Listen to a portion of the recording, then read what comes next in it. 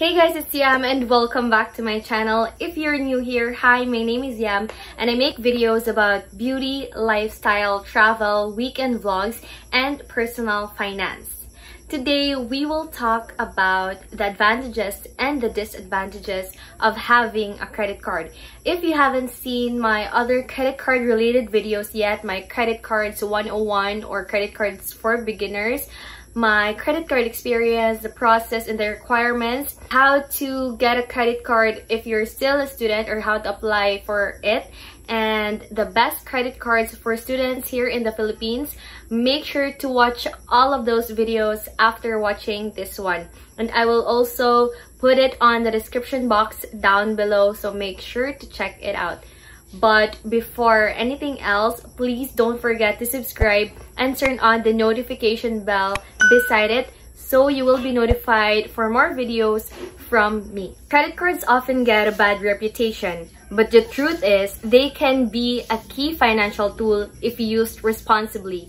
Here are some of the top advantages and disadvantages to consider before you add a shiny new card to your wallet. For the advantages, number one, convenience. You don't have to worry about how much cash you have on hand. Just remember that you can always use a debit card instead. With a debit card, you won't be in danger of accumulating debt that will be subject to high interest charges if you don't pay it off each month, like you would with a credit card. Remember to keep track of your checking account balance to be sure you can cover what you're buying. Number two, record keeping. A credit card provides a useful record of your spending through your monthly statement and online account, which would also be the case if you relied on your debit card for spending. Some credit cards do send year-end summaries, though that can be a great resource when you're doing your taxes. Number three, low-cost loans.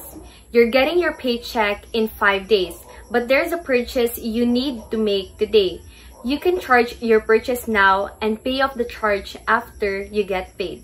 The key here is to make sure you will be able to pay off the charge by the due date. Number four, cash advances. Although I would never ever ever recommend this one, you can get money when you need it. Be aware that cash advances often have higher interest rates so it's important to make a realistic plan on how to pay those advances. Number five, member perks. With some smart shopping, you can choose a wide range of discounts or cashbacks based on your purchases. Compare the cards available to see which perks best fit your need and spending habits. Number six, build a good credit history. Using a line of credit by making purchases and paying them off on time will help you get a good credit rating from credit rating agencies which will make lenders more likely to lend you and offer you a good interest rate. And number seven, lastly, for the advantages, purchase protection.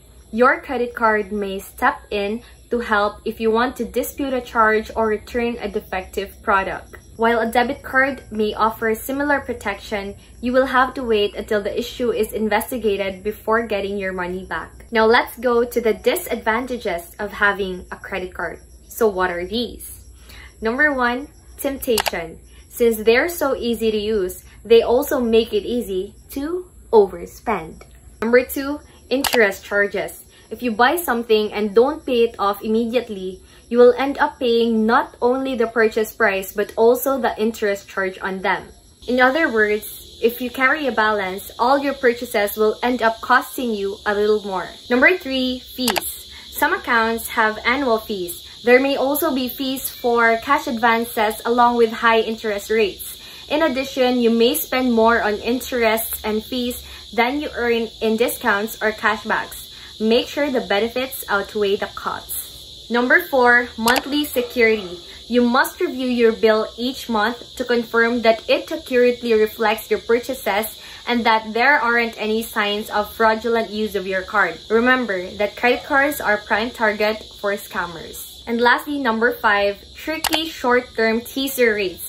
A low interest rate may seem like a good deal, but many people are surprised to find that the rate was only temporary. If you don't read the fine print, you may pay far more interest than you expected. And that is all for today's video guys. If you learned something from me this week, please don't forget to click the like button, comment down below any credit card suggestions, video suggestions, or comments, just leave it there. Please don't forget to subscribe to my channel and turn on the notification bell beside it to be notified whenever I upload new weekly videos. This has been Yam Yam saying goodbye and see you next time. Bye!